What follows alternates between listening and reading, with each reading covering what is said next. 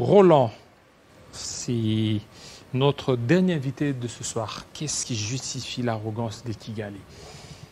Bienvenue, Monsieur Pius. Merci, cher confrère. Voilà, la République démocratique du Congo fait face à l'agression, à la énième agression du Rwanda. Et vous, quelle est votre analyse par rapport à ça? Notre diplomatie a échoué euh, ou euh, c'est passé dès les départs, on a faussé? Les, prémices jusqu'à appeler Kagame des frères et aujourd'hui ça s'est retourné contre nous euh, Heureusement, vous l'avez dit dans, dans votre question. Mais laissez-moi vous dire d'abord que je voulais saluer le professeur Banze Malale qui me suit présentement à Lubumbashi et la question de l'Est préoccupe beaucoup de Congolais. Ici, il n'y a pas question de clivage politique. Ici, c'est la nation qui est en péril. Et il faudrait dire que la République démocratique du Congo est au cœur d'un complot international. Les Rwandais, en lui seul, ne peut pas faire face à la République démocratique du Congo. Et le Rwanda veut maintenir, au fait, l'influence à l'Est, son influence à l'Est, avec la présence des groupes armés, justement pour piller nos minéraux avec le concours des multinationales. C'est que le problème, juridique de la République démocratique du Congo se pose depuis longtemps. Depuis 1885, euh, il fallait définir les territoires. Vous savez que le Rwanda, le Burundi et la République démocratique du Congo, c'était une seule colonie rwandaise. On avait une seule monnaie. Et certains historiens disent même que la République démocratique du Congo s'étend jusqu'à Kigali. Mais lorsque vous parlez de la diplomatie agissante, non, il n'y a pas eu diplomatie en fait. Il y a eu tourisme politique. Tourisme? Oui, il y a eu tourisme politique. Puisque lorsque vous accédez au pouvoir, il faut éviter la condescendance et l'esprit triomphaliste. Et c'est ça ce que les amis de l'UDPS ont fait. Au lieu de récupérer les acquis de Joseph Kabila, puisqu'ils disent souvent, selon ce qu'on les entend parler, que non, la, RDC était isolée pendant les 18 ans de Joseph Kabila, ce qui est faux et archi faux, puisque pendant les règnes de Joseph Kabila, il a été à la tribune des Nations Unies. Et la dernière fois qu'il a été à la tribune des Nations Unies, c'était justement pour demander la réduction de la MONUSCO. Parce que c'était une très grande mission euh, des Nations Unies en République démocratique du Congo, ça fait plus de 20 ans que la MONUSCO est là, mais la solution n'est jamais trouvée. Mm. Et D'ailleurs, elle a été mise en cause, cette MONUSCO, avec le trafic de minéraux. Nous avons vu même des tenues militaires euh, qu'on a distribuées euh, aux, aux, rebelles. Ce qui fait qu'en 2012-2013, Joseph Kabila avec les forces armées de la République démocratique du Congo qui occupaient la huitième position. Hmm. Aujourd'hui, elles sont à la onzième position, position, selon Léon Richard Kassonga, porte-parole des FARDC, c'est qu'il y a eu recul. Mais à la huitième position, la, la, République démocratique du Congo a défait les M23. Et les M23 se sont dispersés. Euh, un groupe euh, dans à Kampala et notre groupe euh, à Kigali. Mais en arrivant au pouvoir avec condescendance, avec euh, esprit triomphaliste, sans connaître le parcours de la guerre que mène la République démocratique du Congo, parce qu'il faut que l'opinion sache que l'actuel chef de l'État, lorsqu'il était dans l'opposition, il était contre l'état des sièges. Contre l'état des sièges. Contre l'état des sièges. Il était contre l'état des sièges. Mais comment ça Est-ce que ça a été proclamé pendant ce temps-là? Non, ça n'a pas été proclamé. Il avait dit hein. si Kabila ose décréter l'état des sièges, nous allons marcher. Hmm. Mais lui, il a décrété l'état des sièges, personne n'en a marché, et ça n'a donné aucun résultat. Par conséquent, c'est la résurgence de M23. M23 qui est porté par Kagame. Et vous avez parlé de l'arrogance de Kagame.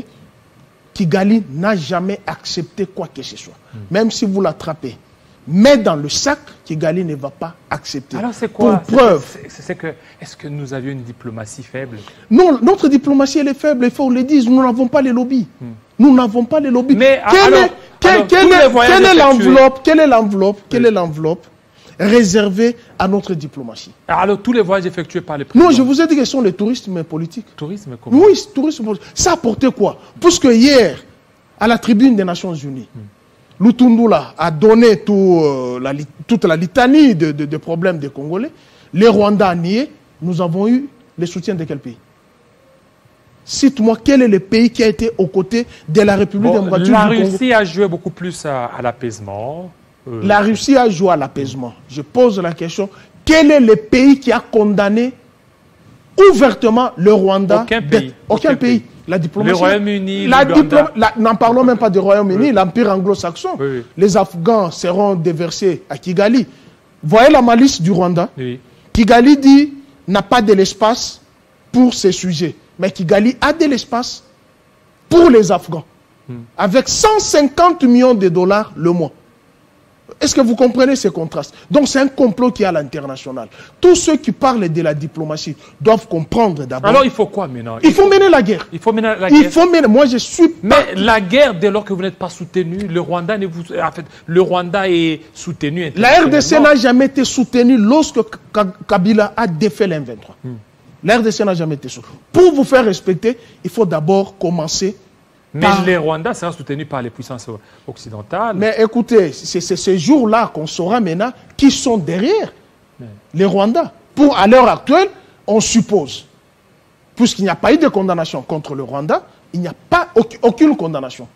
Et on suppose que les multinationales qui pillent nos minéraux à l'Est et le raffinent à Kigali, alors que le, sol, du Rwanda n'a aucun minerai, ça justifie tout, tout simplement que c'est un complot à l'international. Mais qu'est-ce qu'il faudrait faire? D'abord, avec l'âme patriotique, nous sommes un grand peuple capable de défaire le Rwanda et faire asseoir un autre leadership au Rwanda qui ne va pas nous poser des problèmes. Parce que nous n'avons pas de problème avec nos frères rwandais, que ce soit Tutsi, Hutu ou toi. Nous avons un problème avec l'administration de Kagame, qui est l'Hitler de l'Afrique, qui est euh, chouchouté par la communauté internationale, juste pour mettre mal à l'aise la République oui, démocratique. mais là, ils sont là. Euh, Ouais, ils sont là, Sarkozy. Une fois qu'ils se- ils, euh, une fois qu'ils seront attaqués, ils seront soutenus par la France, par le Royaume-Uni, et ça risque de dégénérer. hein. Ah, Alors, ce jour-là, nous comprendrons que tout le monde est contre la République démocratique du Congo, puisque nous, nous avons perdu autant de Congolais, 12 millions. Juste- On n'a jamais déclaré un génocide. Alors que les Rwandais, les Tutsis et les Hutus se sont entendus mutuellement pour se massacrer.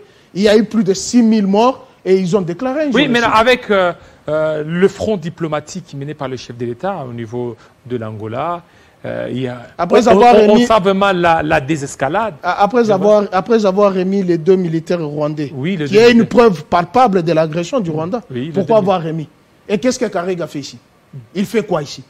Ces garçons qui vous narguent ici, il fait quoi? Si vous aurez compris le rapport de Kaimbi, Hmm. qui vous avait dit que ce monsieur-là venait de l'Afrique du Sud, il a fini tous les opposants rwandais. À ce jour-ci, on ne serait pas là. Mais vous êtes allés embrasser notre bourreau. Les bourreaux de nos mères, nos bourreaux de... Et d'ailleurs, il y a même cer- cer- cer- cer- certains journalistes qui disent, euh, les- les- vous les filles de, de, de, de- de l'Est, on- les mamans de l'Est, on vous a violés. Et après avoir ouvert les bras à notre bourreau, ça se comprend. Et vous comprenez de qui je, je, je, je parle. Et, et c'est tout ce qui frise les consciences congolaises. Nous avons l'âme patriotique, nous sommes capables, avec nos FRDC. D'ailleurs, vous avez vu ce qui s'est passé aujourd'hui à Bukavu? Oui, oui. c'est un message. Seule, une seule province, ici on déverse au Rwanda, et c'est fini. Mais imaginez nos 150 000 hommes équipés avec l'argent des rames qu'on a volé, si on prenait cet argent et on achetait l'arsenal militaire. Les Rwandais ne vont pas parler. Même la communauté internationale elle-même, pour vous faire respecter, il faut que vous vous respectez vous-même. Donc il faut défaire le Rwanda. Moi, je suis partisan de la guerre au Rwanda. Oui, mais là, partisans de la guerre, est-ce que tous les moyens sont réunis pour, pour mener. Mais notre rame, on a volé notre argent des rames. Il y a des procès. Alors, pour aller peut-être euh, à cette ultime option, oh, il faut y- épuiser toutes les options diplomatiques. Toutes les options diplomatiques sont déjà, sont déjà épuisées. Toutes les options diplomatiques sont déjà Mais épuisées. lorsque Lorenzo salue un peu euh, la désescalade là qu'il y a eu, c'est qu'il y a quelque chose à espérer. Il n'y a rien à espérer. L'Angola était, est venu à la rescousse de la République démocratique du Congo contre l'agression du Rwanda, avec l'appui de la SADC. Ben, Ils savent tous ce qui se passe réellement, les complots à l'international contre la République démocratique du Congo. C'est qu'on on veut mettre la RDC à genoux pour que le leadership congolais ne s'affirme pas. Oh, c'est une grande erreur. Il suffit que la République démocratique du Congo se mette debout. L'Afrique entière va se mettre debout. Et ça, l'Occident a compris. L'Occident a compris qu'il faut commencer par affaiblir la République démocratique du Congo. Prenez le Rwanda qui n'a pas la superficie de Congo central. Quelle potentialité humaine, quelle capacité humaine le Rwanda dispose pour défier la République démocratique du Congo. Mais c'est puisque nos dirigeants sont allés embrasser notre bourreau. Et ici au stade, vous le savez, Et ils étaient les frères. Yonani, Oboya Kagame, ça s'est dit ici, notre bourreau. Et l'UDPS a angélisé notre bourreau. Voilà notre faiblesse. Maintenant, nous nous mettons. Est-ce qu'il y aurait des accords peut-être signés, les, les accords économiques euh, Mais les- Sakima est là. Hein, Sakima. Sakima est là. Vous n'avez pas appris. Gom, euh, Rwanda est venu faire quoi ici? Mais ils ont suspendu, non On a suspendu. Avant de suspendre, il faut d'abord chasser l'ambassadeur qui est là-bas. Il faut les chasser. Voilà. ça, Non, vous savez, euh, Jean David, Hein. ça nous fait mal. Oui. Nous avons compté plus de 12 millions de morts. Ces trois pays d'Afrique réunis, la population de Congo-Brazzaville, de Gabon et une partie de Sao Tomé Principe. Mais tout ça, c'est à l'actif de notre bourreau qu'on est en train de chouchouter. Qu'est-ce qu'on fait de Karega ici? Combien de mouvements citoyens? En avance ont cherché à faire la marche, aller à l'ambassade du Rwanda, qui ont été gazés et c'est ça, ces accords-là que le Congolais ne comprend. Il faudrait que le pouvoir actuel demande un mea culpa aux Congolais et aller négocier, avoir un dialogue avec Joseph Kabila, lui poser la question comment il a défait ces bandits-là de l'Est et comment il a contourné la malice de Kagame. Les Tutsis, dans leur nature, n'acceptent rien. Même si tu l'attrapes, la main dans le sac, n'accepte rien. Il faut mener la guerre là-bas. Et ça, moi, je suis d'avis avec Mouzito qui a demandé à ce que nous avons euh, la, la force de la défense pour défaire une fois pour toutes. C'est notre voisin naturel. Mais on ne peut pas vivre avec un voisin qui nous pose des problèmes quand même. Merci. Et moi, à défaut, à défaut de mener la guerre à l'Est, et chacun de nous apporte une pierre qu'on construise un mur. Un mur. Et qu'on se sépare, puisque les États-Unis l'ont fait avec le Mexique. Mexique, Oui. l'Israël le fait avec la Palestine, la Chine l'a fait avec le Tibet. Rien ne nous empêche, nous sommes souverains, puisque nous avons compté autant de morts. Nous voulons bien vivre en paix avec nos voisins, mais les voisins ne veulent pas vivre en paix avec nous. Merci. Donc il faut les mener la guerre. Merci beaucoup, M. Puce Roland. Euh, Merci tout, beaucoup. tout à l'heure. Je n'ai pas placé un mot Oui. par rapport à ce qui s'est passé aujourd'hui. Oui. Notre confrère, Oui, Bouya, effectivement. Un mot avant que euh, Prince Epenge ne, ne- Oui, ne oui. termine. Yves Bouya, je, je, je, je demande à l'UNPC de s'assumer. Il y a une jurisprudence. Oui. Vous savez, chers confrères, ce n'est qu'en République démocratique du Congo où on voit les journalistes se manger entre eux. Alors que c'est nous qui fabriquons les politiques. Ouais. Dans la corporation, vous ne trouverez jamais un analphabète, un illettré dans notre corporation. Puisqu'il faut tenir les micros, il faut poser des questions, il faut écrire. Ça sous-entend qu'on a une capacité intellectuelle euh, requise. Mais au sein de la classe politique, il y a ceux qui sont devenus politiques par des injures. Et il y a même certains voleurs qui, paient les, qui, qui, qui, qui, volent la République, qui se font politiques. C'est nous qui fabriquons les politiques. Je demande tout simplement à l'UNPC de s'assumer Perron Loara qui n'a pas dit de contre-vérité puisque le président Jean-Marie Kassamba l'a confirmé qu'il avait dit des choses qui se disent, mais c'est le ton tout simplement qui a choqué. Il a été radié en moins de cinq jours. C'est inconcevable qu'un confrère puisse envoyer un autre confrère En prison. en prison, qui est père de famille, qui est grand frère, qui est mari, juste parce qu'on vous a dit des vérités. Je, n'ai vu aucun procureur. Par conséquent, lui, notre confrère Israël Mutombo, a cédé son plateau à Christian Bossembe pour traiter l'ancien chef de l'État d'excrément. Lui-même. Israël a l'a traité d'excrément. Et certains d'autres, je n'ai vu aucun procureur. Je n'ai pas vu l'Union se saisir immédiatement de la question.